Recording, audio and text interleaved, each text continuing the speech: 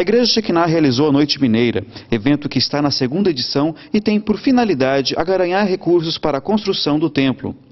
Com uma farta mistura de paladares da culinária mineira, o evento agradou a todos. Na verdade, a nossa iniciativa é, desse evento em si é para a construção das nossas novas instalações da sede. Mas nós queremos sempre proporcionar algo para Cacoal, para as pessoas.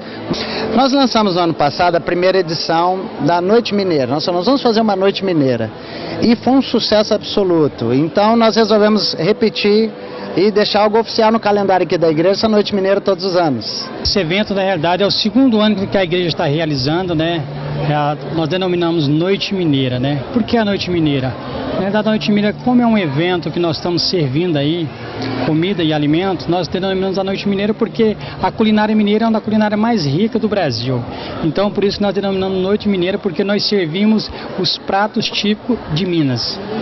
Na realidade, esse evento é, a segunda edição, o segundo ano que nós estamos realizando a Noite Mineira.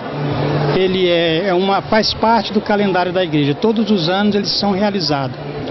Na verdade, toda a igreja está envolvida. Nós queremos até agradecer aos irmãos que se envolveram, se empenharam para que tudo isso pudesse acontecer. Quem vem aqui já é, sai realmente satisfeito, porque aqui realmente a, a, qualidade é excelente. Nós queremos até agradecer a toda a população que sempre respondeu a esse evento, né? Hoje nós estamos aqui com todos os ingressos vendidos, realmente está uma benção, a comida está quase para ser servida, é realmente muito boa, excelente, de, de, de um padrão de qualidade. Com imagens de Rodney, entrevista de Rosângela Leonardi, edição de Ricardo Bonifácio, sugestões de Aline Della Vecchia, Marcelo Neri para a Rede TV.